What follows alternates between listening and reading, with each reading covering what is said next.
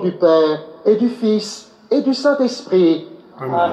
La paix soit avec vous. Et avec.